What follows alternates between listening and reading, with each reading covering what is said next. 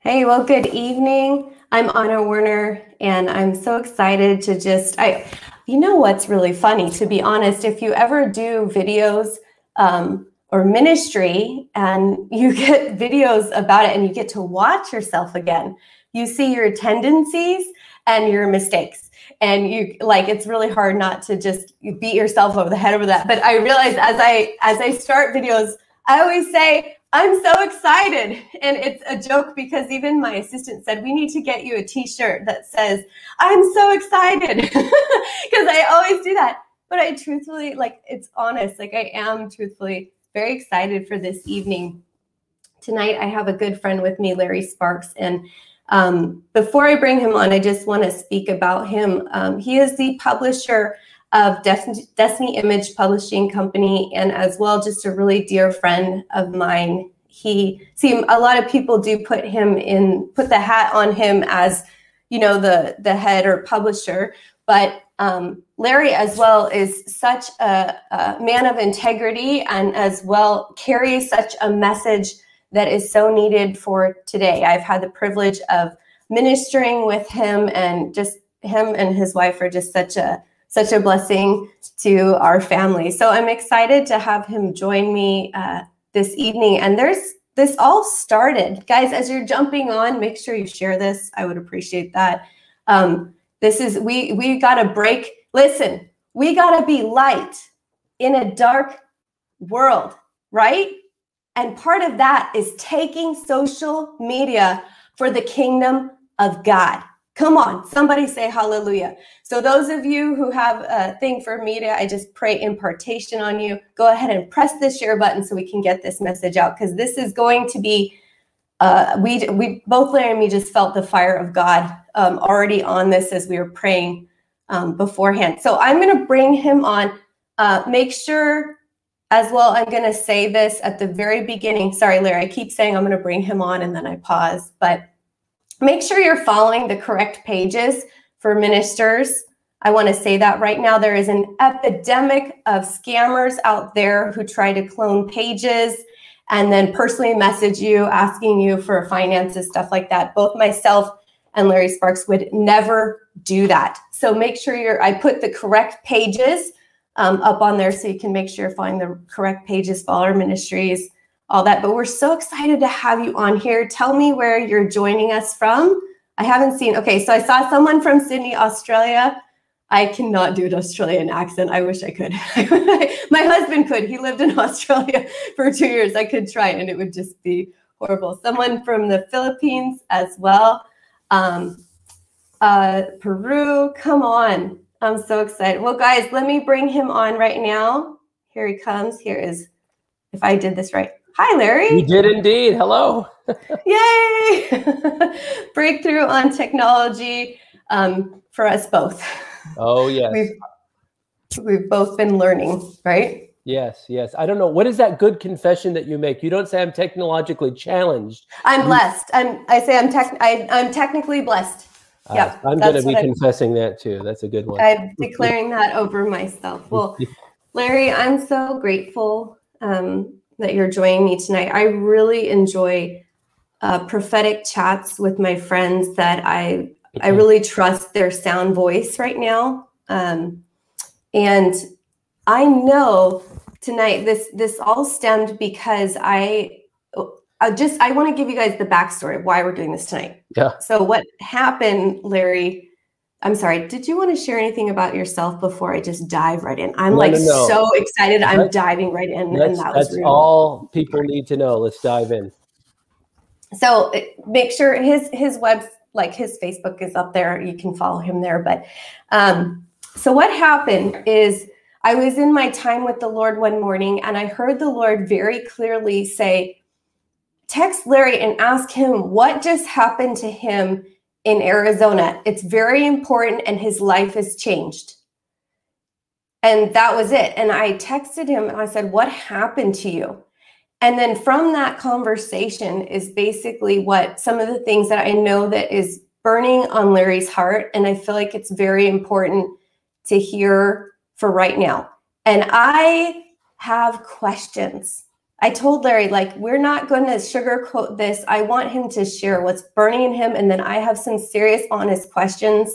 And this is going to be a really uh, powerful night. I already feel the fire all over this. So I'm very excited about this evening, Larry. And I'm just so grateful that you're willing to share. Because, uh, you know, sometimes when you go through something so powerful and life changing, you don't always have words to express um, what happened. I remember actually, I said, God says you don't have it all, the words for it yet, but you will. um, so, Larry, what happened? Start, let's start at the beginning. What happened to you? Well, you're 100% correct. I, I did not have the words at first. Um, bottom line, I went to church, Fresh Start Church in Peoria, Arizona. They are some new friends. They've got an amazing Assemblies of God church out there where for six years they have been in revival. Now, it hasn't been like mm. nightly meetings. I don't even think they ever did nightly meetings. I think they had a real breakout of the Holy Spirit again five to six years ago. And they made a commitment not necessarily to doing extended meetings. There's nothing wrong with that. They made a commitment to we are going to disciple a church of revivalists so that every time we come together, we experience this powerful measure of the presence of God. So I've been following them on and off. We have some mutual friends who have gone and ministered there Jeremiah mm-hmm. Johnson, Corey Russell, Sean Smith, people that we published. So I said, okay, I got to figure this place out. Well, Imagine going to a church when you go in the building, it's almost people ask me, what's the church like? You go into the building and everybody explodes. Okay, that that might be that might be a little bit intense, but uh I, I have gone twice and um, first time I went, I'd never been exposed to that kind of atmosphere before.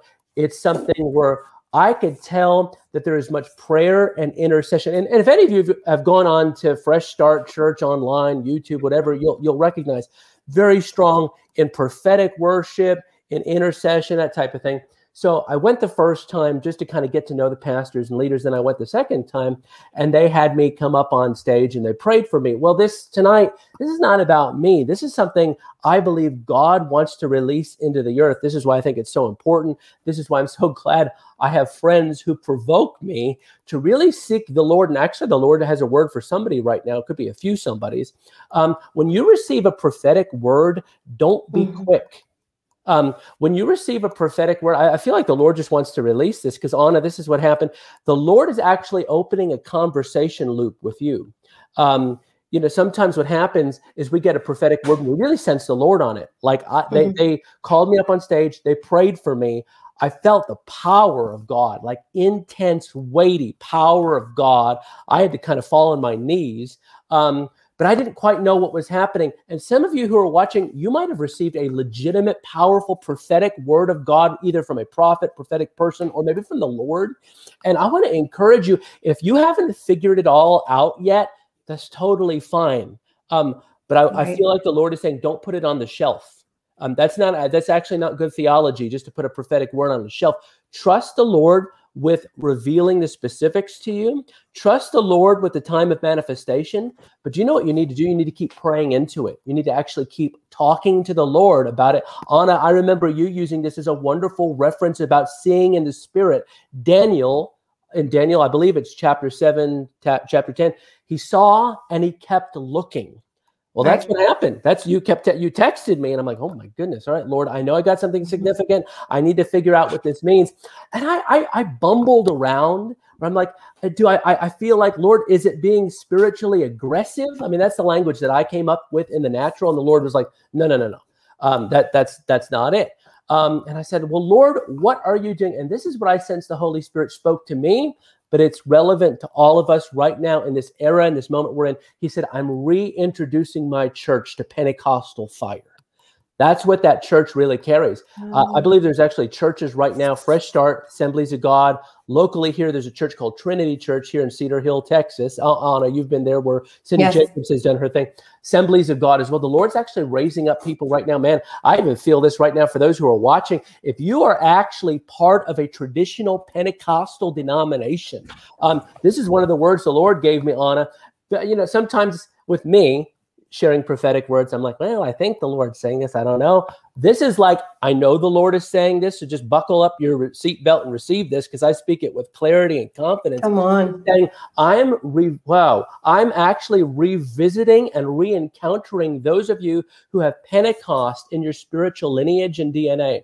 If it's Assemblies of God, Foursquare, Church of God, Cleveland, um, whole bunch of other Pentecostal denominations. Why? Because Pentecostals that denomination for like the last hundred years um, since 1906 probably before that but 1906 you have the azusa street revival. They paid a price for the power of the holy spirit um, I, am grateful for we have like a lot of charismatic Pentecostal theologians now, and I'm going to turn it right back to you on. I'm just giving the context, and I'm almost done. We have a lot of wonderful Pentecostal charismatic theologians. I think of Dr. Michael Brown. I think of Craig Keener. I think of Gordon Fee. I went to Regent University in in Virginia Beach. So we have we've come a long way. But there was a time, there was a season maybe 50, 60, 70 years, where Pentecostalism, speaking in tongues, laying hands on the sick, the gifts of the Spirit, they weren't just like controversial. They were downright rejected, and churches were burned. People were called names. Uh, they were persecuted. And I feel like the Lord says, I remember the price that was paid for Pentecostal wow. fire. Uh, so many of us today who get to operate in these gifts of the Spirit, where there's so much wonderful teaching about it. I mean, even the fact that we have books on the seer and the seer's path and the seer anointing. Like I think of Bill Hamon, Jane Hamon, the Hamons who paid a price for the prophetic. Um, but yeah, I feel like the Lord saying, I'm getting to revisit, huh? I'm revisiting those with Pentecost in their spiritual ancestry, and I'm reopening the wells of Pentecostal fire. Um, so I'll explain more of that as you ask questions, but I wanted to, that's what I feel like the Lord really released to me when those people prayed for me. Wow. Um, I'm so glad you shared that. Yeah, I, you know, Holy Spirit, you know, we hear and see in part. And all I knew was something happened to you that changed your life. Literally, what I shared is all I knew. Um, and then I was like, what happened? And then I went back and I saw some pictures of you, I think, laid out on the stage. Probably. And I went, oh, I know that. Like, oh, yeah, I've been there with the Lord before, just laid out under the weighty, thick oh. presence of God. So I want to start, yeah. go backtrack a little bit just to that. Um, do you feel that part of what God is trying to do in the church. And when we say church, I think Larry and me are in agreement. We're not talking just in terms of a four building structure. No. Um, the church being the body of Christ. Um, so outside of the church walls. But do you think that God is coming in fresh waves of like that weighty, thick presence? I'm I'm seeing it personally, I will say, in different areas. But is it that I have to now, I know some of the answers to questions, but I think these are questions that people have. Do I have to go run to these areas where the weighty presence of God is coming, or does uh, revival and, and Pentecostal fire look different than it has in the past? Yeah, I know these are hard questions, but I really want to go after it tonight. So, well, as you what asked, are your thoughts? I'm I'm getting hit by the glory. Do you know why? Because I can very, see. there's a very clear answer for that one. The reality is and I, I want to speak to whoever's watching, you know, the mom, the dad, whoever's sit, just sitting at home, like, do I need to go somewhere? No, do you know why? Because you are the person, you are the vessel that carries that Pentecostal fire of God.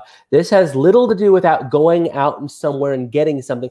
Now, is that helpful? It can be, but praise God for technology and broadcast media and all those kind of things. I mean, you can watch. I, I, I don't think it's the same as being there, but um, it was it was Tim Sheets, Dutch's brother, uh, who's mm-hmm. one of our authors, wonderful Bible teacher, who said this, and it so stirred me. He said, Larry, I see coming very soon a day with where within 20 miles of everybody in the United States, there will be a church that is on fire, that is experiencing revival, the move of the Holy Spirit. It's it's normative. It's not the exception. In the 1990s, when you had Brownsville and Toronto and even Smithton in Missouri, it, it was a bit of the exception. It was so unusual and wild. People came from all over the world to these places, and I'm grateful. But even John and Carol Arnott, I think it was Carol Arnott who, who from the Toronto mm-hmm. Blessing mentioned that even when that revival started in 1994, they received all these prophetic words basically saying, You haven't seen anything yet. Um, the Lord saying was basically saying, I'm introduced, I'm going light or I'm going easy on you now, so that when I come in my fullness, I don't scare you. And again, he's a good father. You know, I want to I, want to add that caveat, but scare. you know, I, I found myself praying a prayer like that recently on. I was like, Lord, scare me again. And again, not fear. We, we're so like used to like demonic fear, um, but the fear of the Lord in the sense that God, that we would see mm-hmm. move in ways perhaps none of us have ever experienced, none of us have ever tasted, none of us have ever touched.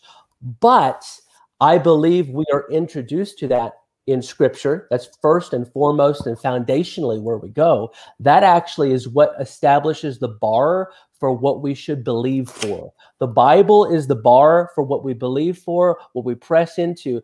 But then I love church history. In fact, I'm, I'm, that's that's that's why I can get nerdy and a little bit geeky with some of this stuff because that's what I got my degree in church history and renewal.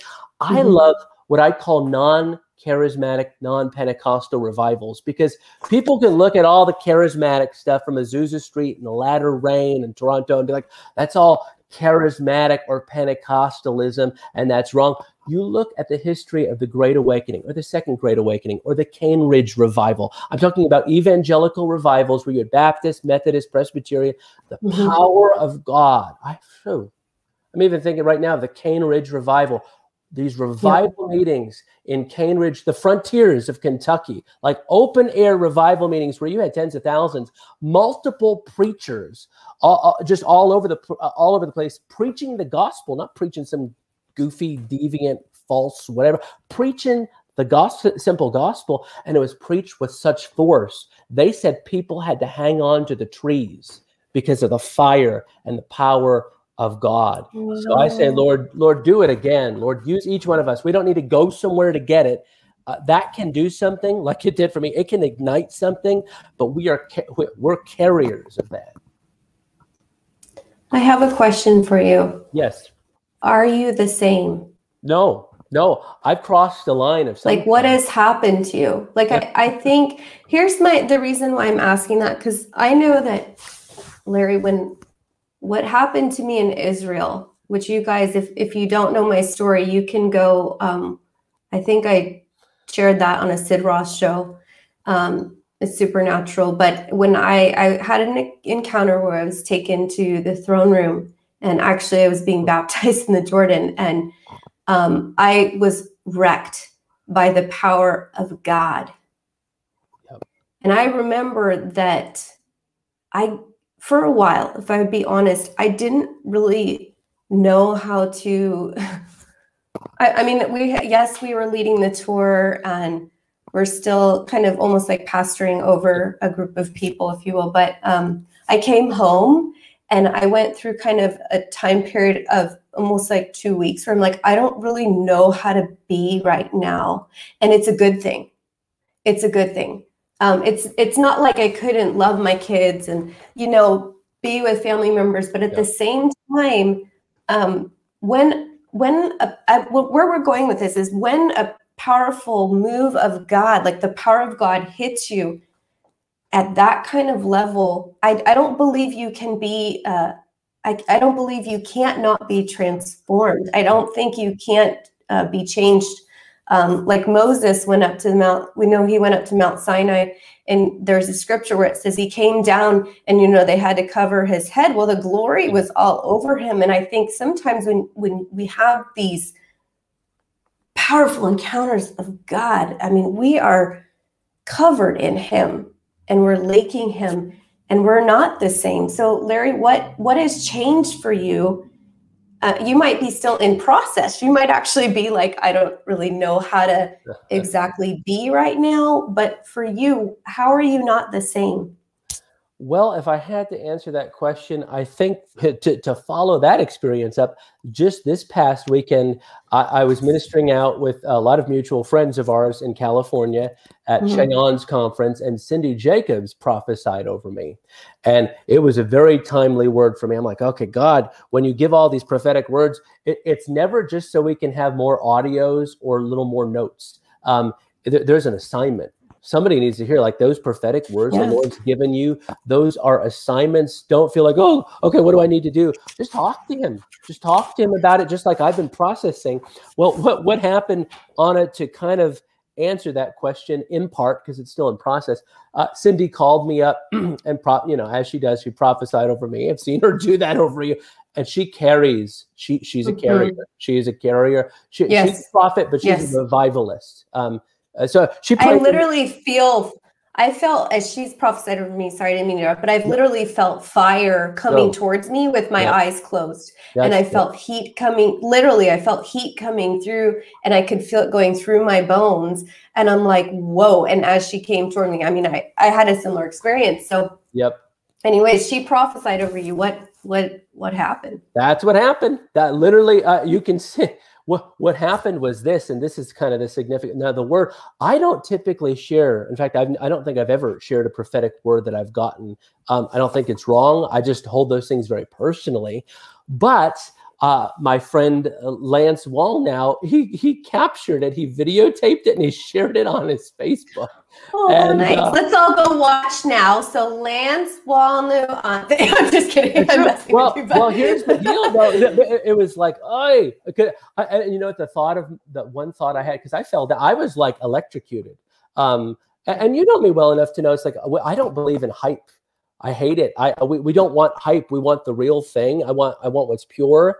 Um, so of course I was starting to look through comments. Never look at comments on a video where you're getting zapped by the Lord because all sorts of people have all sorts of opinions. And I said, Lord, should I just ask him to take this down? Was this inappropriate? You know, and, and the Lord said, no. In my basically, I felt like the Lord said, in my sovereignty, I allowed this because wow, because you're because I'm calling my people to cross the line. I'm calling my and I and I basically thought, Lord, this was what I said to God. It's so funny. I said, Lord, my last shred of dignity has been demolished. Um, and he said, Yeah, wow, Exactly. A- And, and it's it's like a praise God. It's a good thing. yeah, Um Yeah. it's it's a yeah. I that's I had similar, I remember Larry, and you remember this when I was in Israel. And oh yes, I mean, I was walking down the hallway in the hotel and trying to get to my room, and just this presence of God hit me and nailed pinned me down to the floor. And um, I couldn't get up for like a, like what is a ridiculous like amount of time. And people are walking by being like is she okay? And i'm like under the Oh, manifest presence of god. These women walked by. I'll never forget because i was under the presence but i could hear everything around me. And they were like is ana okay? And they're Mhm. like oh that's just ana. She's just drunk in the spirit in the spirit mind you. She's just drunk in the spirit. She's gonna be just fine. And i was like god and i tried to say something and i couldn't even talk because the weighty presence was that thick and i just thought god you don't even care anymore. I've lost all of my dignity. I can't even defend myself.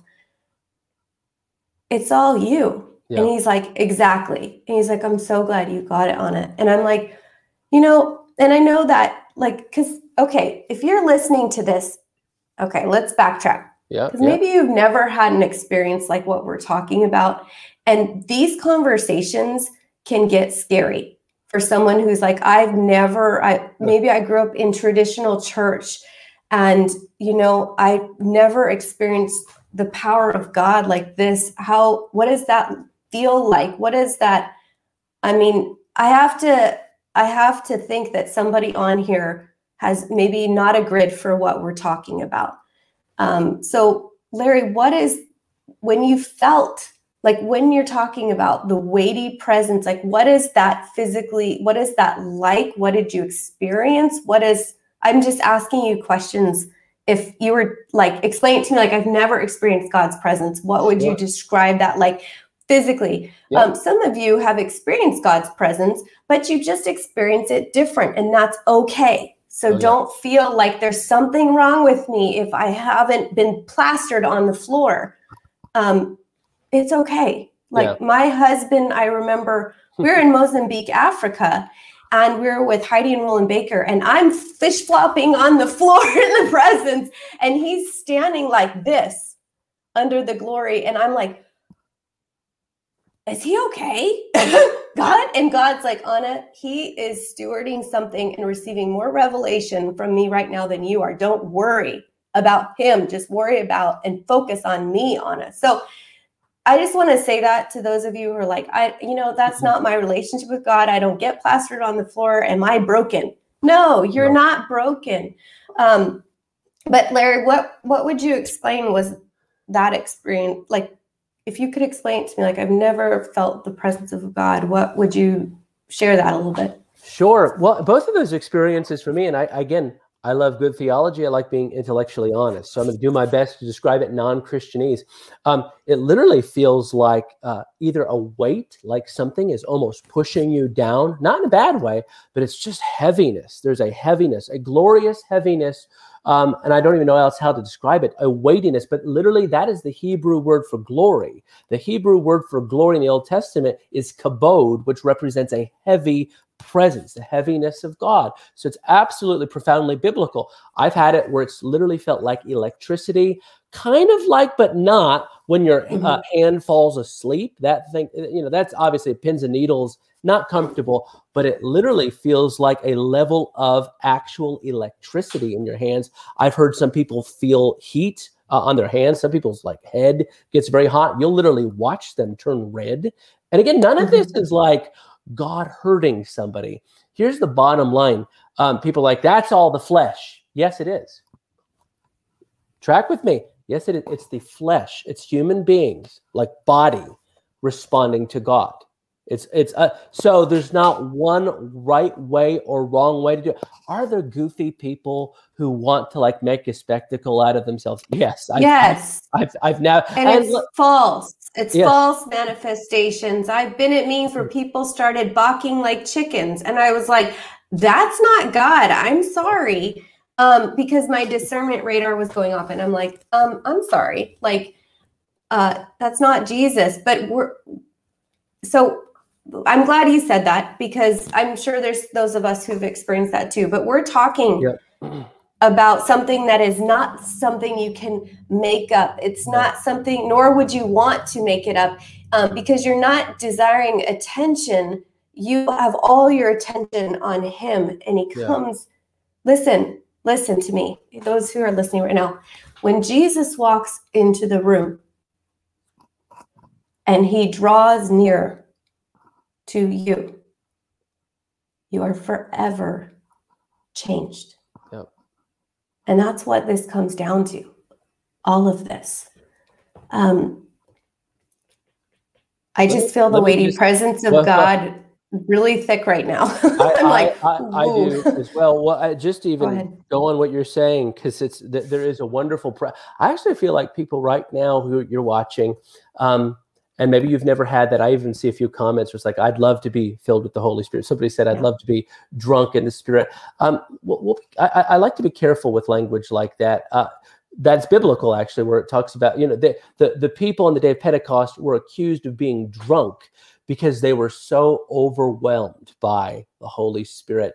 So I don't want to focus necessarily on that. But even now, as Ana said, I believe people who are watching and listening now, or you're watching later, I believe the Holy Spirit just wants to touch you. And the good news is he's a personal God who touches people differently. Mm-hmm. Because I've been in gatherings, as sure, Ana, you have been as well, where the, the, person next to me legitimately looks like they are plugged into some sort of electrical outlet. And I know they're encountering God.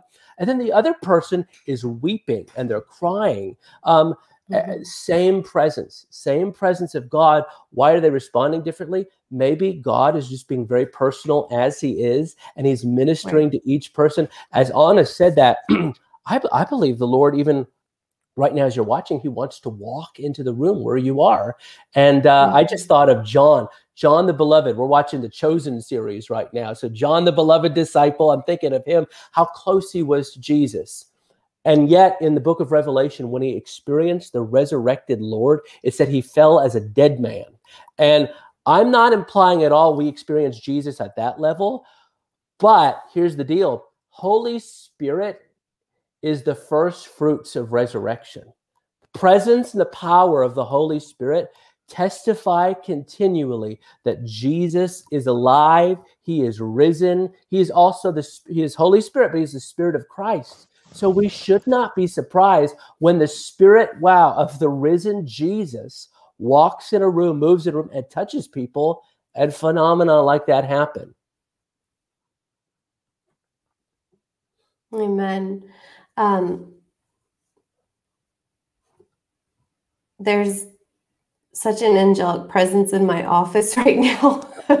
I'm I'm hoping I can continue talking, but I feel I what ha- see it's it's it's happening to me as as we're talking. Nothing like getting hit live, but um, I'm I'm just gonna stop before I go on. I have so many questions, but I just have to stop. We have to stop for the presence right now. We just have to stop and and just um, Lord, we just invite your presence on this live right now.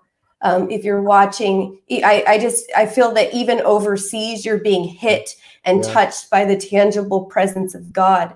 Father, I pray that you would pour out your spirit upon us, God. We are yeah. so hungry and desiring more of you. God, we're not after just an experience, God. Yeah. We are after drawing close and intimate with the living God. God, we want change and we want transformation in our nations and in the world, but it starts with us first, God. So I pray, let us be people that are wrecked before your presence, God, that we would bow down and lay down our agendas to stop for you and make room for you to move, however that looks like, yes. God, whatever that looks like in our house right now. Father, yes. I pray that you would pour out your spirit upon family members right now. I just declare restorative marriages in the name of Jesus right now. I just got that word. He's restoring your marriage right now. In the name of Jesus, yep. God, I declare health to be released by your stripes. Um, they are healed in the name of Jesus. We are healed. So, God, I just declare that healing over anyone who's needing healing over this right now. God, we just say, have your way have your way. God, pour out just fresh, fresh, fresh, fresh, yeah. fresh fire in the name of Jesus.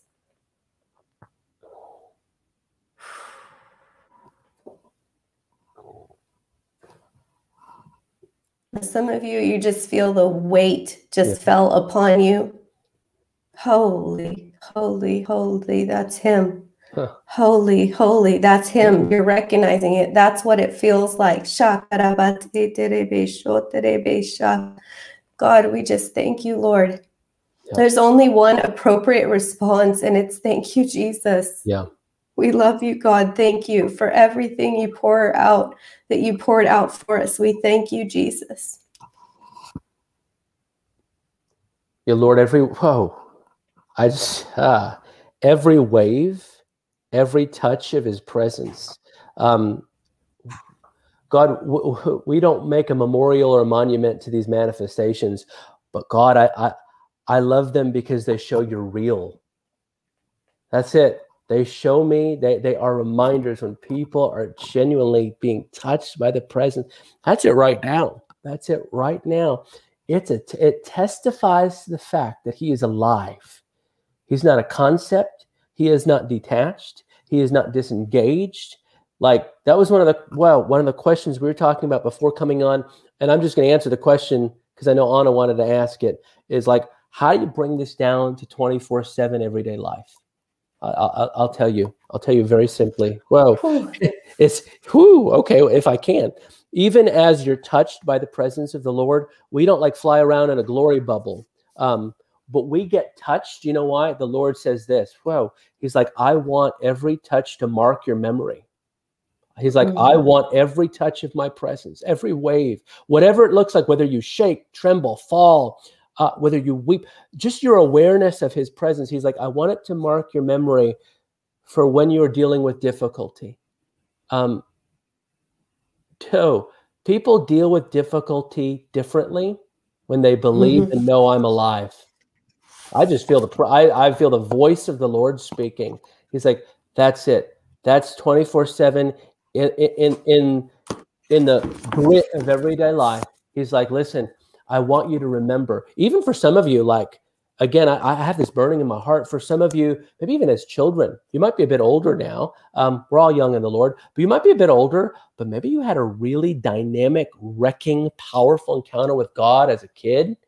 And he's like, I, I didn't give it to you just as a memory. I gave it because I wanted it to mark your memory. When you're dealing, when you're going through the trenches of life, I want, I feel like mm-hmm. the Lord wants you to actually, uh, to redig wells of encounter to redig those wells. Just like uh, just like Isaac in the Old Testament had to redig the wells that the enemy covered up that the Philistines covered up with dirt wells of inheritance from his father Abraham. Well guess what? You have wells of encounter that are part of your spiritual history with God. And when we're going through the challenges of life he simply wants to remind you I'm not out in outer space somewhere I'm the real God. I rend the heavens. I come down. Um, yeah, that's that's it. Come on. I have a question, um, Larry, if you can answer it. Yes. um, it, it, the presence is so thick on this live that sometimes it's hard to. that's another thing that happens to you when you get in his presence. It's not that your mind becomes jello, it's you get more his mind, the mind of Christ. Yep. And so it's like I don't even know how to ask or answer things right now. I just want to lay down in the presence, right? You know, so but I I did have a question for you. Um places of um these outpourings that we've been to or you've been to yeah. places of revival you you're friends with john and carol arnott um, um, and i know they've talked about paying the price for it and I, I have questions in terms of, um, I think there's those of us now as well who have had a few times come like powerful uh, mm-hmm. encounters, a few powerful encounters with God.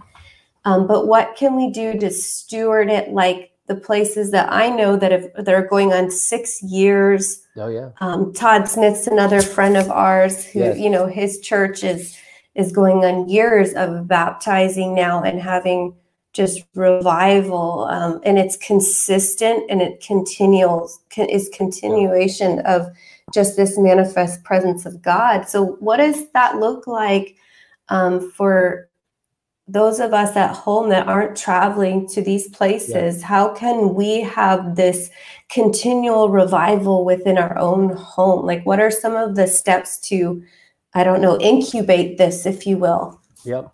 That's a good question. I was thinking of another one. I was just watching a women's ga- well, a women's gathering, but it was at uh at the ramp. Karen Wheaton, Catherine Mullins, uh, and they've been going. They've been going 20 years. I know we're talking about some of these more recognized revivals, but they've been going 20 plus years, and there's still that. I mean, I, I would say there's an increasing measure of the presence of God. I was watching that, just getting wrecked. So what do we do to incubate this? I think it's really simple. I like eh, eh, because I've studied to the mm-hmm. best of my ability lots of revivals. And I do think there are some like quick practical tips. Number one, I think is just making space for the Holy Spirit. That sounds so simple, and it is. It's saying, Holy Spirit, you are my priority. And Bill Johnson gives the most wonderful example from his book, Hosting the Presence, he asks the question, How would you live if you had a dove on your shoulder? And we've, we've probably all heard this one. And he always corrects people because people often say, Well, I'd live very carefully. I wouldn't want to make the dove go away. I wouldn't want to do anything to agitate it. And he said, That sounds right, but it's not. He said, I take every step with the dove in mind. Because if we live carefully, guess what? And we think, okay, I've got the Holy Spirit, but I don't want to make him fly away. I don't want to do this. I don't want to do that. We become more sin conscious and mistake conscious. And to be honest, hmm. me conscious. And again, listen, we're supposed to live lifestyles of repentance. I'm not saying we don't focus on that. I want to be more focused on the Spirit as opposed to me. I want to be more focused on the dove. And I love that example. And I love that description, taking every step with the dove, with the Holy Spirit in mind. Because you know what? Wow, shoot, thanks, Bill, for an illustration that just wrecks you. But I, I'm even thinking, you know, it changes the way. And I listen, I don't do this perfectly, but it does introduce a, no, a, a new vocabulary to me. Because you know what I do? I try. I try. I try to say, Holy Spirit, the thoughts that I'm thinking about this person, do those thoughts make you comfortable?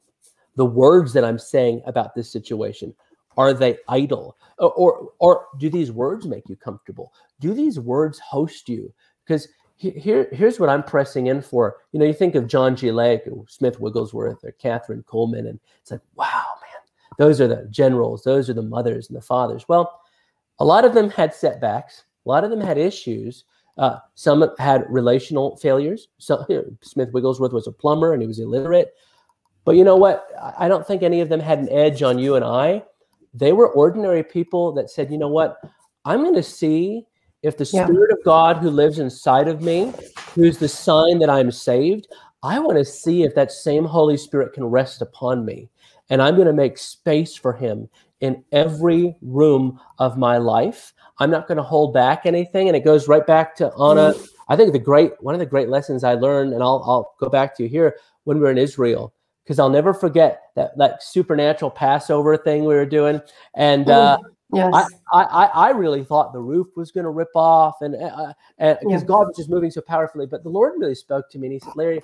There's not seven steps. There's not three keys to walking Come in on. greater glory. He exactly. said there's one. He said there's one thing. And it's Romans 12, 1. We offer up our lives as living yeah sacrifices. That means you offer up everything. You offer up your addiction, your bondage, your sin, not to a God who's going to smite you, but to a God who wants to send holy, refining power and fire on your life. What a good deal. We offer up all of our stuff. And every yeah. time in the Old Testament, an offering was made, a sacrifice is made, there is the promise. Well, there is the assurance that holy fire, Pentecostal fire, which by the way, Pentecostal is not a denomination.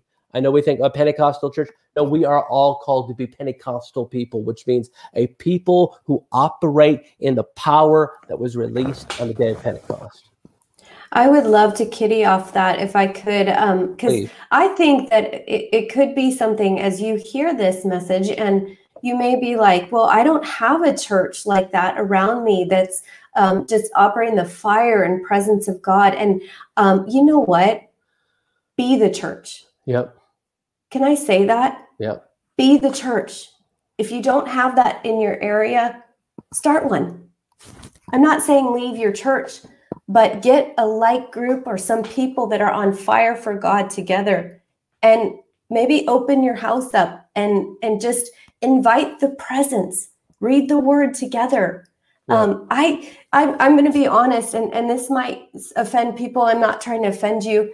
Um, I so honor um, the generals that have gone before us, Larry. That have you know all these people that we all know that we read about their history books. I mean, I mean, I'm like I'm so wrecked and undone and challenged um, by their lifestyle. But this is kind of the message that I've been carrying, as you know, Larry, for a while now. But it's all hands on deck right now, guys. Yeah. Like it's it's no longer going to be, and it no longer is um, these select elite ones. And, and I'm not bringing dishonor to them. I'm just saying, yeah. um, right now it's you and I, um, everyday people being passionately in love with God and spreading His light to the world. Because look at the world right now.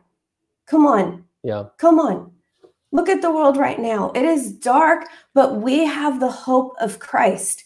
Amen. So I I am so on fire for God right now, and I hope you are too. I think I think we all should be, and we all have a part to play right now. The Lord really showed me that one time. Um, he took me in, and I had an encounter. I have an encounter where I saw this big banquet table, and I think I wrote this about this in Seeing Behind the Veil, um, one of my books.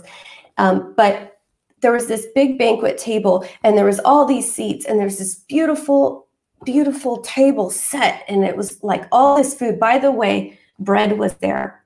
Just saying, for those who like carbohydrates and yes. bread. I'm sorry, I'm just throwing that in there. But um, okay, so anyways, there was all this food, and and I saw all these seats and then I saw and then and then I saw people uh, no I heard something under the table and Jesus took me under the table. When we went under the table I was like taken into a different place but there I saw people and it was not just kids it was adults scrapping for crumbs and they had bloated bellies Now, I've lived overseas in missions, and I know that bloated bellies usually mean malnutrition. It doesn't mean healthy oh, always, it means malnutrient. And so people were scrapping. And I said, Jesus, Jesus, why don't they come up to the table? There's plenty of seats.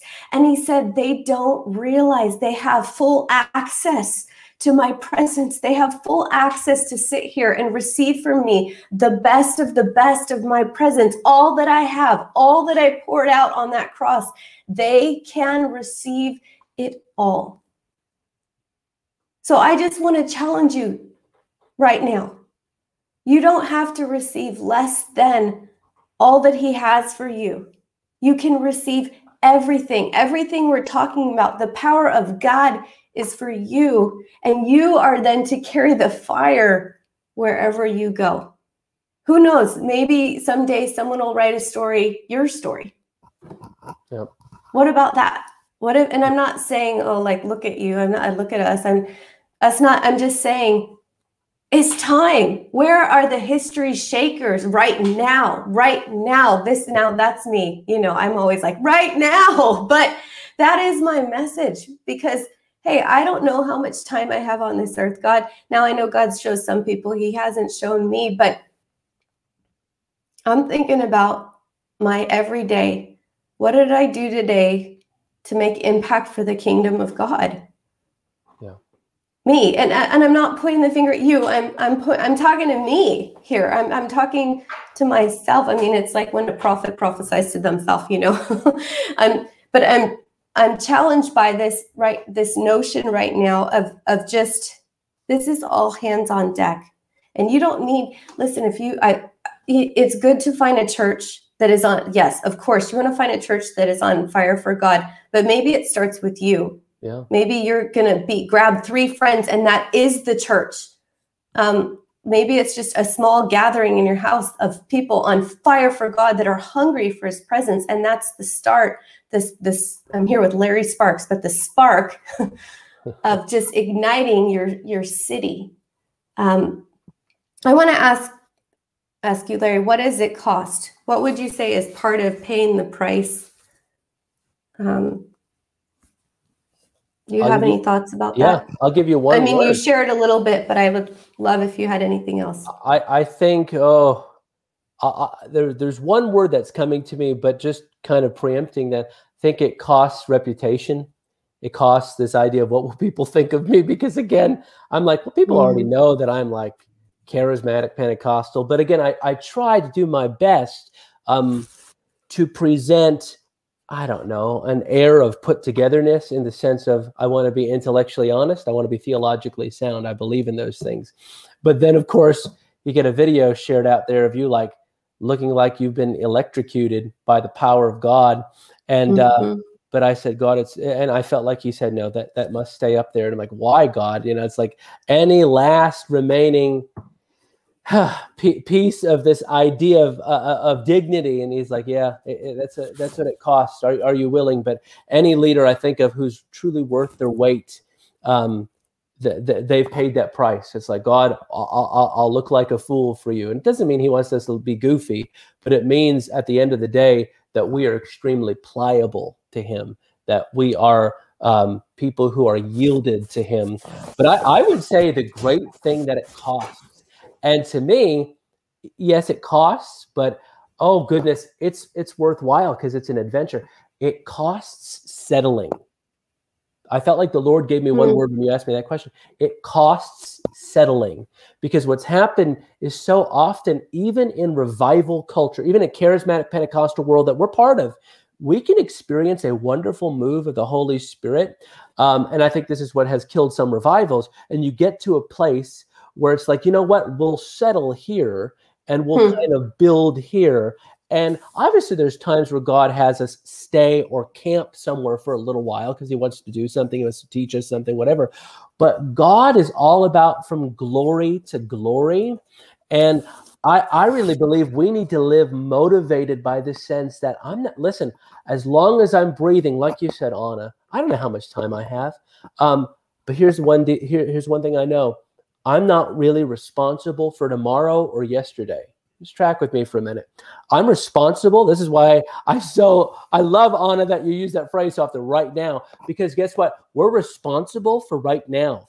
I don't know if I could tolerate any more of this language saying, oh, the glory is coming, or revival is coming, or this is coming. I mean, we've had the revivals coming conference and the glories coming summit. I, I get it. And, and I understand mm-hmm. a greater release or a manifestation of those things is yet to come. But I believe all the machinery, uh, everything that we need from heaven to walk in the power of God has been given to us. And I think the Lord, again, I think I said this before. Tim Sheets said that the, the Lord said to Tim, Listen, you raise the bar, I'll raise the anointing. Wow. He said, You raise the bar, the us. We, wow, that's so good. You raise the bar. What's the bar? The Bible is the bar. And I was having a conversation with my wife Mercedes about this, and I was explaining that to her. And God bless her, she always she talk about people who provoke me. She's like, no, no, no, no. I because I was like, well, the bar would be healing sick, casting out devils, raising the dead. Man, that's a pretty high bar. And she said, That's true. But what else did Jesus say in the in the book of John? He said, Greater works. I mean, there, well, there, there is a bar of things that we have not yet seen. There, there's a, I mean, so the, the the reality is this. The good news is this: you never. I, I just declare this over you right now. You never have to settle. You never have to settle for some stale, stagnant Christianity. The Lord told me this. He said, "I'm declaring war on the dece- on the deception of backsliding." And I said, "What does that mean?" He said, uh, "There's a generation, particularly young people, not only young people, but young people. We have this language. Well, they they're backsliding and they're prodigals, or that they've gone away from the Lord. And I feel like the Lord is saying one of the ways that I'm going to actually save a generation from backsliding is I'm going to raise up people. This is why I take what we do so seriously, taking uh, preaching and messages and books. I feel like the Lord's saying, I'm going to remind a generation there's more. I'm going to constantly remind them that there's more and that the there, that there is no ceiling. Sometimes I think people are told or given this idea, well, you got saved, you signed a card, you came forward. Uh, uh, okay, now go to church every mm-hmm. week, maybe a couple times a week. Maybe you'll go on a missions trip a couple of times. Do your best, try to live holy, and then when you die, you'll go to heaven. Um, that that's not Christianity. Jesus did. Corey Russell says this: Jesus did not die for 45 minutes and 20 bucks. He didn't die for once a week and and a offering in the offering plate. Um, he, he wow he died for a people who are completely consumed and i'll say this and then i think i'm done but um, you never have to settle in fact for those of you who are right now it's legal to kind of assess where we are and, mm-hmm. and, measure it next to the Bible. And we don't say this in guilt. We don't say it in shame. We say it with joyful expectation. What I'll, I'll, I'll do, ho, is I'll look at people in the Bible like Peter, who was so saturated with the presence of God in the book of Acts that his shadow healed the sick. Or Paul, who they took pieces of clothing from his body. It wasn't like prayer cloths. It was like pieces of clothing from his body, so saturated in the presence of God that those pieces of cl- clothing would heal the sick, cast out demons. I say, God, that's the bar. I'm not there. I recognize what I have right now, it's not enough. Um, and Lord, I'm going to make your word the bar. That's going to be the standard. And what do we do? It's like, oh, Larry, but what do we do to get there? Uh, we ask, we pray. That that is the thing that actually fills in the gulf, the gulf between where we are right now and I believe everything the Bible says is available. That is why I believe making space for the Holy Spirit and prayer, like prayer, is absolutely essential. And I I, I really believe the Holy Spirit's highlighting yeah. that right now. Um, because sometimes, and again, I I think I've done, but I, I feel like we'll we'll get somewhere in the spirit. Sometimes we'll pray, we'll get to a place of power, signs, wonders, miracles, or whatever. And then it's almost like we back up on the prayer or we back off on the prayer. Yeah. Um, no, we, we live in a place of prayer and it's not static, it's not dull, it's not religious, and it's not boring. It is a lifestyle of constant communion, engagement with a real person called God.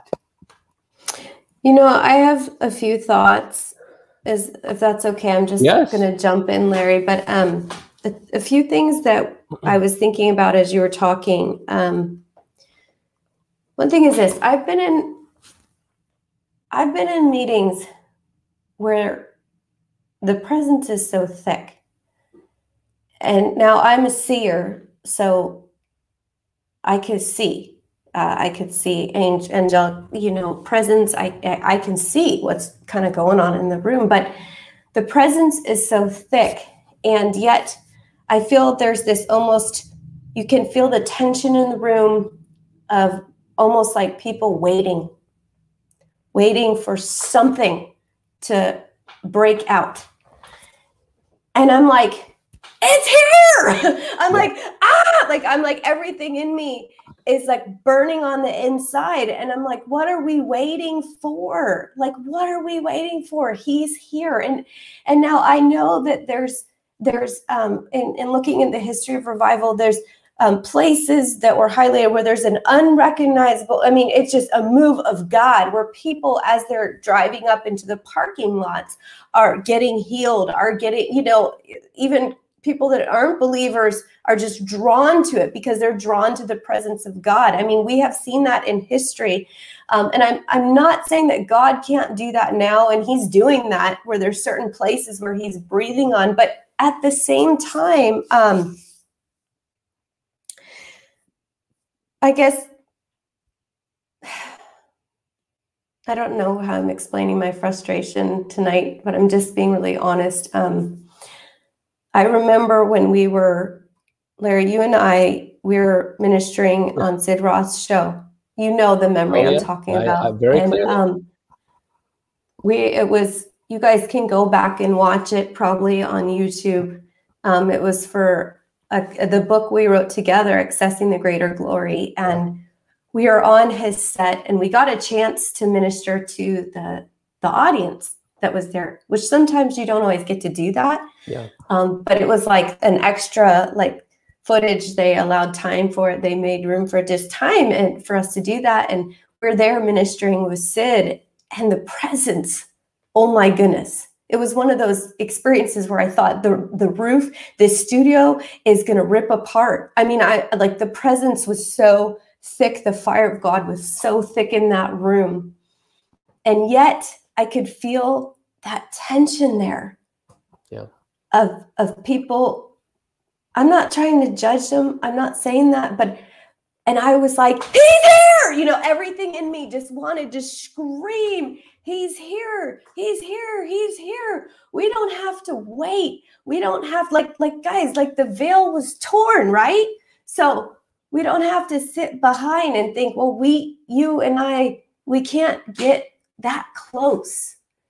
I believe he's drawing us into a new measure, a new level of closeness with his presence. I really do. And I, I know the scripture that says we're seated in heavenly places. Well, if you and I are seated in heavenly places, as that word says, then we have the ability to be right close to Him. And you don't have to wait for somebody to pray for you. Now, Larry and I are going to pray for you, of course, but you don't have to have us pray for you. Here's the truth Jesus paid the price for you for you. For you on here, Alicia. For you on here, Logan. For you, Carol. For you, Janet. For you, Joe. Jesus paid so that he could be that close to you. Nothing you can do is going to make you perfect enough. Listen, you can lay that down, your imperfections. Lay it down. It's okay. Jesus loves you so much that he says, You were worth dying and giving my life for you, just so you and I could experience that closeness. Does anybody feel the tears? I just feel like the oh of God right now. There, you had something to add. I, I, have a very specific word actually the Lord gave me. I was looking at the comments. Um, this is somebody who's been on multiple videos that we've done. Vera Vosnik is her name. Um, Oh, yeah. Yeah, Vera, I actually feel like the Lord has you, and, and this is not entirely prophetic because obviously I know Facebook and I see what you do. Um, because I believe you attend a Church of God church. I, believe, I think you sing there. Again, not prophetic, just social media. But I feel like the Lord is saying, Vera, you're a well digger.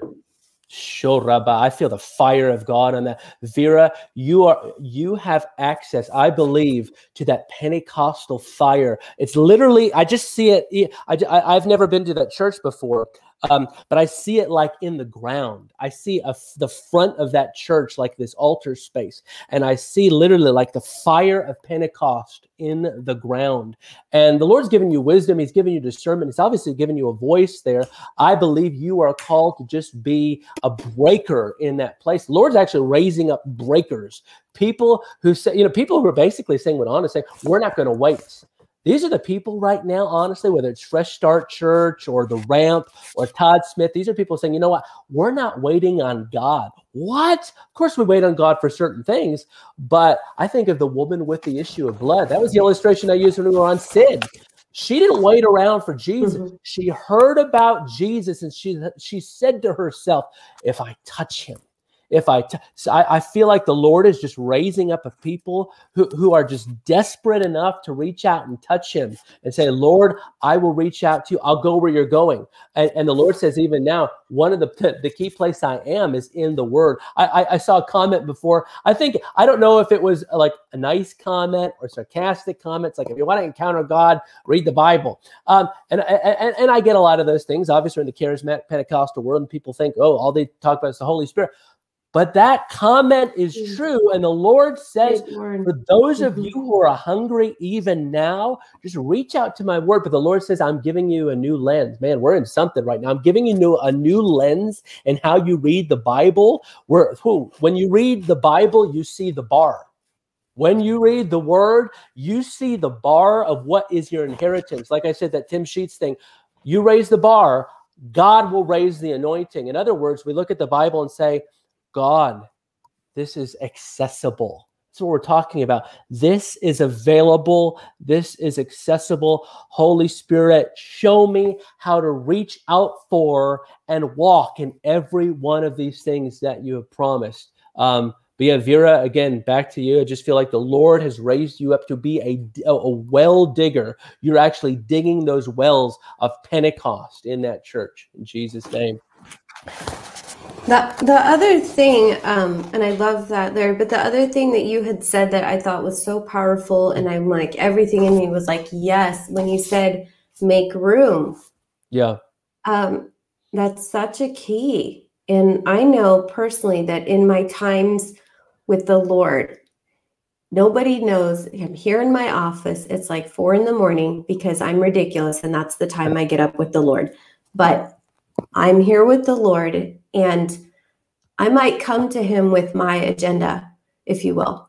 Um, things that are on my heart, things that maybe is going on in the ministry, um, things that I'm carrying, because I, I carry a lot of people that I pray for, and I have all these things in my mind. And I've heard him say, literally, I've heard the phrase, Would you make room for me, yeah. Ana? Just stop, stop. And he literally has to say, Stop would you make room for me? Yeah. And I'm like, it's not that those things aren't aren't important, but what is the most important is that I could fix my eyes on him yeah.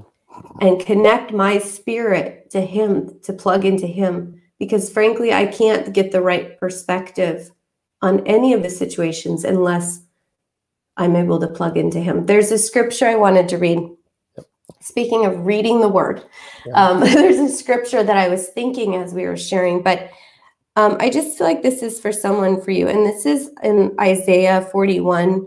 Um, and it, this is in the Passion Translation. Um, did you know the Passion Translation, the Isaiah, like they did the book of Isaiah?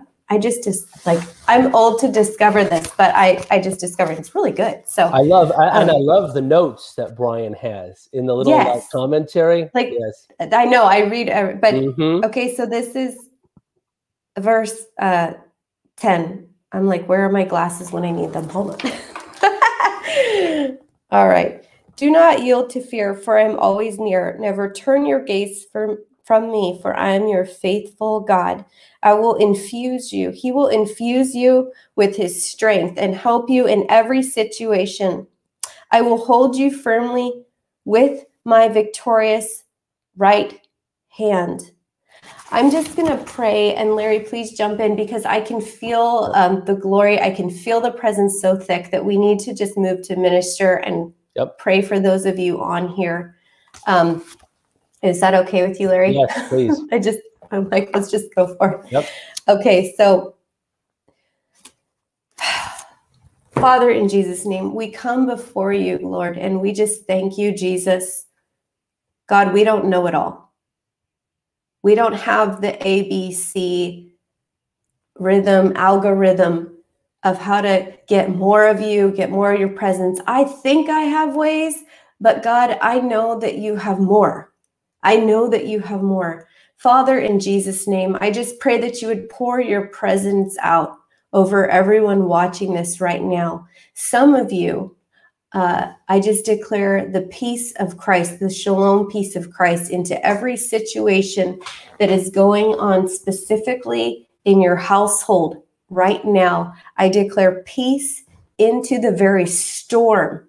And would you have faith that He can change something even overnight? He can change something even overnight. I just saw um, a couple of circumstances that are going on in the homes. If this is a very specific prophetic word, but in your home, and I saw his hand change attitudes and things that are going on in the home even overnight. Father, I just pray, would you have your way?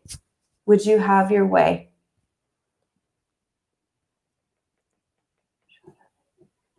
Well, this is very interesting because I don't usually get very specific words like this, but I actually feel like the Lord is releasing his presence right now in a home where there is a father specifically the father in this household is dealing with alcoholism. There's not abuse there's mm. none, none of that but literally it's like the dad is turning to alcohol because it's almost like he's trying to self-medicate but i pray right now wow in the name of jesus that that is broken and that he would actually taste of the goodness of god. So i i, I come into agree I, i'm not going to ask whoever that is. If you want to message us that's fine. This is a private, personal thing. But the Lord gave me that very specific word. And I want to encourage you again, whoever's navigating that situation, uh, just I, I wouldn't even encourage you just pray over the household because the lord says i want to fill that house with the presence my presence and darkness will get very uncomfortable um, and then for another person i actually feel like the lord's there, there might be a couple of people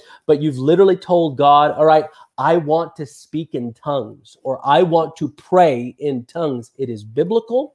Yes, there is speaking in tongues where somebody gets a prophetic message and it needs an interpreter. 1 Corinthians 12, 100%. But then there's 1 Corinthians 14, which talks about a private personal prayer language. I don't need to teach you on it. You've already I feel like mm-hmm. you've already gotten the teaching and I feel like even now on a just in this atmosphere of presence like a river, it's going to come out of at least a couple of people where you're like, "I want to pray in tongues." And again, doesn't mean you're more special, doesn't mean you're more spiritual, but you're saying, "I want it." Father, wow, right now, I just ask that that well would be uncapped and that you would just start praying. Don't make it up. Don't manufacture something. Just say, Thank you, Jesus. Thank you, Holy Spirit. And whatever those syllables are, even if it's one sit with my wife, it was like one or two syllables when she got filled with, baptized by the Spirit. Even if it's that, practice the few and then just more comes but I, I i believe the lord saying these things specifically wow i don't i don't usually get this kind of stuff but we're or something. Um, I have a word for someone on here. Um, when, as you've heard us, and you you might be watching this actually later, it might come up on your YouTube channel or something like that. You might be on here right now, but you're saying, "I want to know the living God." Yeah. Like this, I want to feel the tangible presence of God. I've had enough of hearing about Him. I want to physically feel him. I'm tired of pressing in and pushing after him, but not feeling or sensing anything. And um, I mean, I feel this so strong, like I'm gripped with this word right now. Um, that that that in this very moment, in this very moment, if you would close your eyes, listen, just do it with me. Those of you who have had a dose of the Lord, just do it with me, anyways. We all need Him. Close your eyes get very still.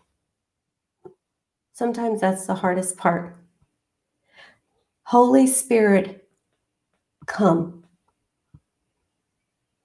breathe afresh right now. Who? Breathe afresh upon us right now. Mm-hmm. we thank you, Lord. We thank you, Jesus. If you don't know Jesus, I want you just to pray after me. This is your moment. You got you stumbled upon this. You're like, I don't even know why I'm watching this. But there's something they're talking about that's resonating you know it's resonating you because you've always wanted to know god and and, and you're like i'm sick of just hearing about him i want to know him yeah. just pray with me and, and it doesn't matter where you're at listen it doesn't matter if you're leading the absolute you're in the worst pit of your life you're addicted to drugs you're doing things you know that is not good and not of god you know what jesus still loves you just pray god I need you. I'm a sinner.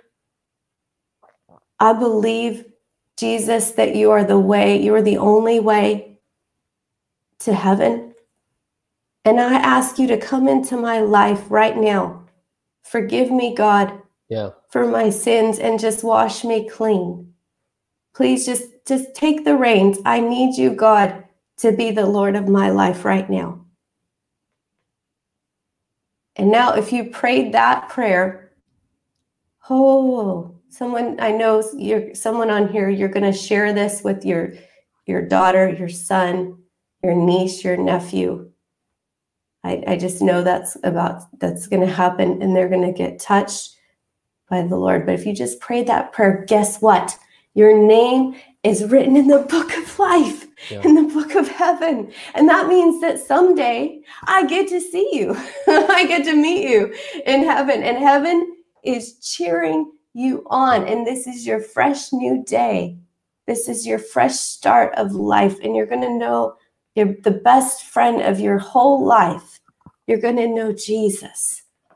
And it's it's going to change your life. I'm telling you, my friend, your life is never going to be the same now. And those of you as well, you want, uh, uh, I, I want to pray this as well. And Larry, jump in if you have anything to say, but you want an increased, I just heard this to pray. I'm going to pray in Jesus' name. I pray the release and impartation of the increased sensitivity to the Holy Spirit, yeah. that we would know, Holy Spirit, what you're saying, yeah. where you're going, where you're moving. Just increase our sensitivity yeah. to feel and sense you, Lord, when you're in the room, God. I pray for blockages yeah. that have been there to be removed because some of you, it's not just like, oh, well, I've got sin mm. and that's why it's blocking me. That is the number one thing that blocks us from being able to feel his presence. But there is bit literally, literally, I can't talk, a, like a spiritual warfare around you from being able to hear his voice, to see him clearly. It's been like a fog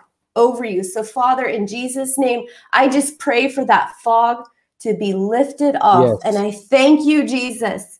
Um, I just hear that whom the sun, like it's like the song, I'm not going to sing, but whom the sun is free is free indeed. I hear it over and over. So I just pray and I thank you, God, for freedom, freedom, freedom, and the ability to sense you again. Thank you, Lord. I, I, I do want to encourage you guys if if literally some of these specific words are for you.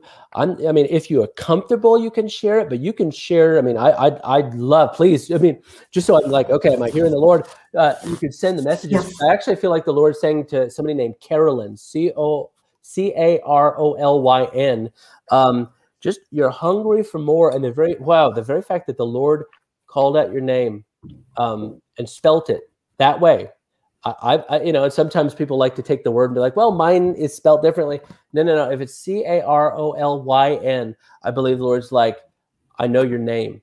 Huh, I know your name and I see you and I love you. And in fact, I saw a picture, and I, I don't know the name here, but I see somebody in a dorm room, uh, a college, it could be a dorm room, college apartment.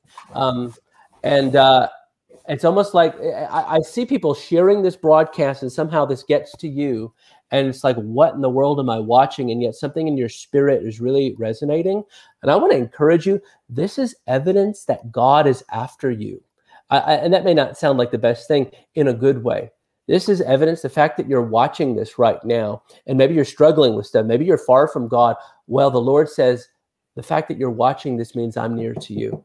The fact that you're watching this means I'm. he says you're. You, it's been. It's a setup. It, it's a setup. And I actually believe as you continue to watch right now, and I'm going to finish praying, Holy Spirit, wow, would you just fall, fall with power, God, fall. I, I, I almost was going to sanitize the prayer a little bit on it, but the Lord's like, no, no, no, Larry, no, don't sanitize it. Um, listen, whatever it looks like, that's great. We need the power of God. We need the fire of God that when it touches somebody, something happens. And why? I'll tell you this. I'll end with this little story at Norman's Church in South Florida. I there was a gathering we did. You you and I might have done this one. I forget, but it was one of the most profound things I ever saw because I knew the family. They actually went to the local. I believe they went to the local Catholic church. Loved Jesus, but they came to our gatherings, and I remember this mom had her had her daughter, and the daughter again. These are. Normal, I remember this. I was there. You were there. Yes, were yes, there. yes. Um, normal people. These are not like people doing cartwheels and somersaults. These are normal, put together people that I know. And I watched the daughter there. She was on the altar with a smile, a smile on her face. She was probably eight or nine, shaking and trembling under the power of God.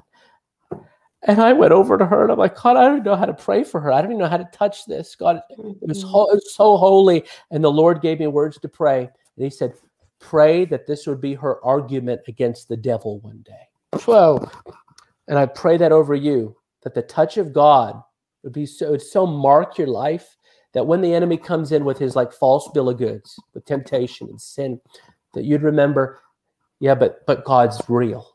He's alive. He touches people. He does mm-hmm. do what the book of Isaiah says. He rends the heavens. He tears open the heavens and he comes down.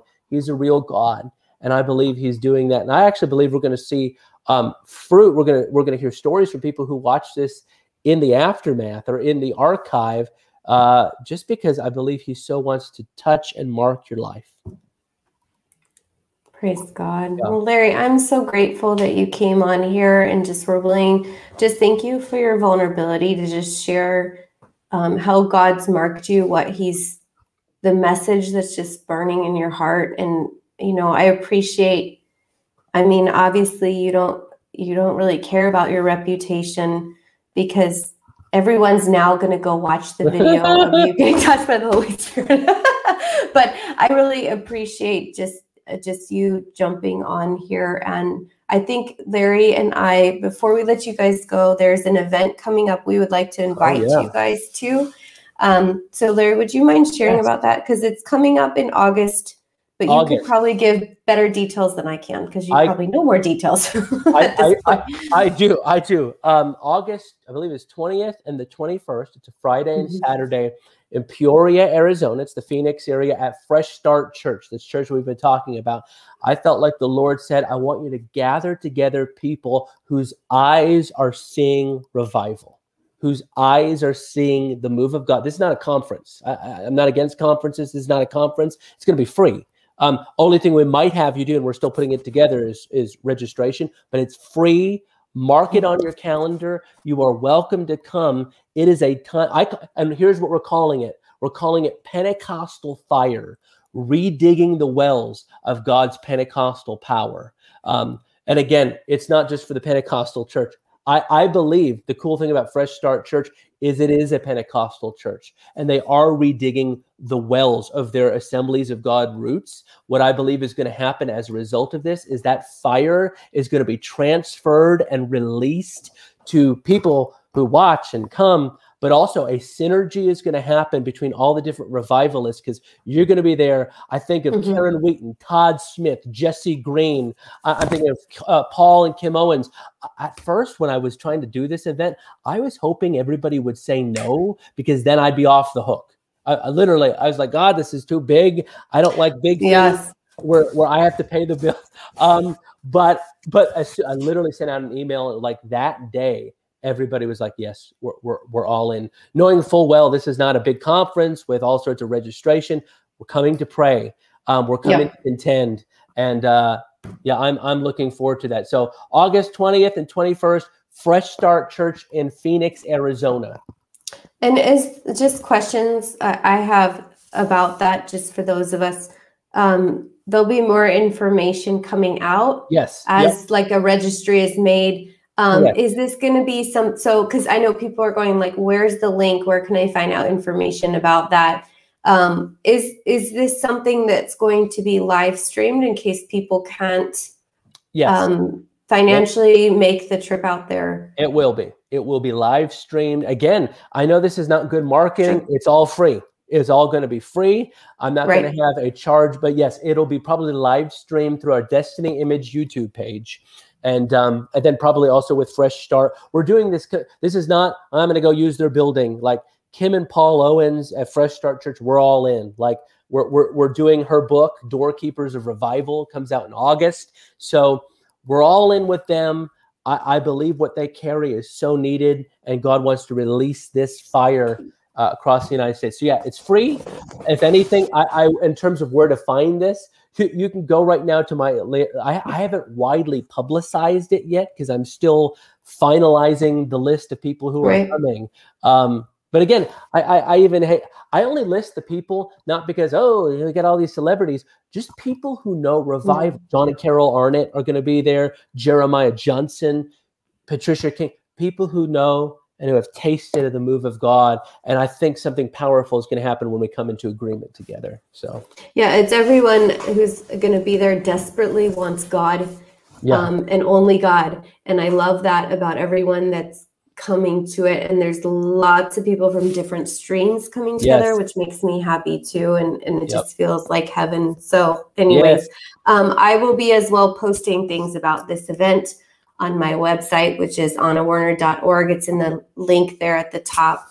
Um, as I know details, as you can tell, we're trying to figure things out, but it will, you can at least mark your calendar when the registry becomes available. I will definitely send it out. Um, if you're new to my page, there's a way to as well join my newsletter, and I I regularly update people. Um, I don't send you junk in the mail. Please don't don't worry about that. But I do let you know in advance about things uh, coming up. So this would be something that I would send you information on. But um, any last thoughts? I had also I want to mention something about Larry that people don't maybe know. Um, Larry also has uh, this incredible course that I kind of like. A lot of us like pushed on him to like, come on, Larry, when are you going to do this? When are you going to You do this? did. But um, he's got this incredible course. If you're thinking about writing a book and you want tips and advice from um, the publisher himself, Yeah. you offer an online course. Did you want to share at all about that? I'm like helping you. I'm like, you're very kind. Help You are- tell people because nobody knows. I don't know. Not nobody knows. I'm sorry. That sounds really rude, but No, people might not actually know who are on this because you don't promote it a lot. So I'm I- like, I- yes, let's be real. I'm I'm praying into how to do that. But uh, yeah, no, you were one of the people who really helped provoke me to do this. Um, well, my, my question every time I go to a conference, I'd say, how many people feel called to write a book, or you feel like you got a prophetic word? I mean, even on this chat now, I'm sure so many people want to release their story and they just don't quite know the next step. I put together a course that will help you at least have clarity in the next step, writing your book, how to structure it, how to put together a winning book proposal, all of that type of thing. And it's called onepagepublishingplan.com. Um, one as in O N E, but yeah, onepagepublishingplan.com. And that's where I have the whole online course. And the goal is by the time you're done to have all the information you need to get going on your book and then have information to present if you wanted to traditionally publish or publish with a publisher. You have all the right information for a book proposal. One page publishing course.com plan.com. See, if I was more better at this, let's do this. I'm going to create a, okay, one page publishing course One page publishing plan. I know. I plan. know. What's wrong with me? Plan not, it's all right. It's dot com. of- Is that it? dot com. One, yep, one page. Okay, let's see what publishing plan. happens. Let's see. Let's if I see. do it, did I do it right? N- no. Oh, there it is. One. Did I spell it right? That is correct. Plan.com. Okay. So, because I'm like thinking I'm not doing a good job at like No, helping you, you did promote this. wonderful. So, oh no, no. just in case you guys want information about that, that. I coming up. appreciate it. um, as well, I'm just gonna say one thing. Um, I'll keep that on the screen. But uh, in the month of May, uh, many of you may know this or not know this, but I'm doing a seer school online. Ooh. If you are interested, um, last year alone, I mentored over 1,200 students. And I regularly, I just check in with my students. I always stand in a place of mentoring them if they have questions after they take the course. It's a month long course um, and it is powerful. Oh my goodness, we have so much fun. We go so deep into encountering the Lord and seeing even healing, deliverance. Um, what's a seer? How is this biblical? How do I know if I'm hearing the voice of God or is this just me? It's all covered in that. So I'd oh, yeah. encourage you just to check that out. Um, and that is on my website, which is anawerner.org. You can go see that. The month of May, it is filling up though, because I, I honestly do cap it because I, I don't want it to grow so big that I can't feel like I'm personally mentoring you and I can't answer your questions. So um, just throwing that out there. But anyways, enough about all the stuff that we're doing. Um, we love Jesus. We hope that this conversation encouraged you tonight. You felt a fresh, um, just refreshment of yeah. the Lord um, during this time. And hey, it doesn't stop. It doesn't stop now just as you turn this off, I want to encourage you just to get out your Bible, go put on some worship music, maybe just go get your journal and just go soak in his presence and just continue asking Holy Spirit, come and and uh, some of you might even physically need to go lay down um, because that helps sometimes just to physically lay down and, and feel that weighty um, presence. And I know it's just con- going to continue. So thank you guys for joining me. Larry, thank you, yes. my friend. It's always an honor to have you oh, yeah. on here. Is there any last thoughts you had? I didn't mean to cut you off or anything, but no, no. The only other thing I was going to say, and again, this is a little, this is a product thing. It's not mine though. Um, it's a book. This is probably one of the most impacting books in my life for 10 years uh, in terms of something that will provoke you, push you, stir your hunger. It's called Doorkeepers of Revival by Kim Owens. Um, I think right now the only place you can get it is Kim Owens' website, but we're working with her to publish that come August. So it is available now. It'll be more available in the days ahead, but that the, there are books that wreck you. Um, I think of God Chasers by Tommy Tenney. I think of When Heaven Invades Earth, like those books yeah. that have catalyzed movements of God. I, I, just wanted to mention that not as a product placement. It's not my product.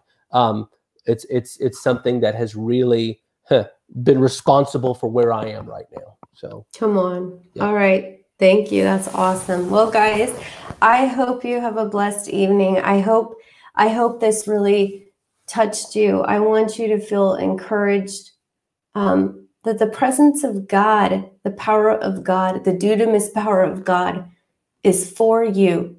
It's available for you, right? now, not something you have to wait for. It's not something you have to build yourself up for. God is so, listen, He is so passionately in love with you. I am convinced that He is trying to invade every aspect of your day to get your attention and just say, Hey, I know you, I care about you, and I'm so for you. Would you come here and sit with me? Let's have a chat, heart to heart.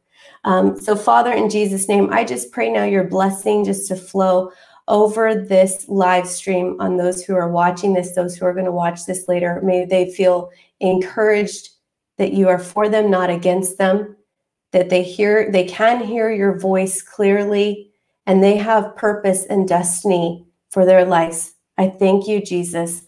Amen and amen. Guys, thank you for joining me. And uh, take care. We'll see. I'm going to do another one of these, um, I think, in two weeks. Um, so I'm looking forward to that. But have